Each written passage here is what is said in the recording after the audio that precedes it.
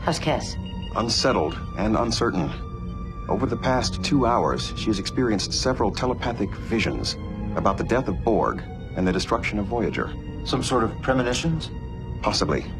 We can't just ignore her intuition, but I see no reason to alter our plan. Tuvok, I want you to keep an eye out. Captain, long-range sensors are picking up transwarp signatures. 5.8 light years distant, closing from behind. Red alert. Evasive maneuvers. What's happening? We've dropped out of warp. Bridge to engineering. What's going on down there? I'm not sure, Captain.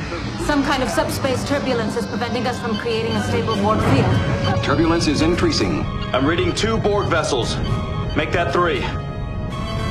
Four. No, five. Fifteen Borg vessels. Distance, 2.1 light years in closing. Shields to maximum. Stand by all weapons. They're in visual range. On screen.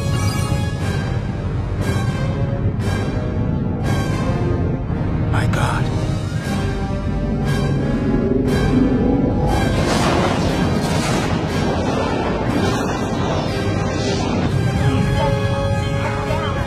Captain,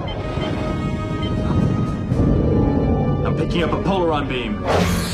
We're being scanned.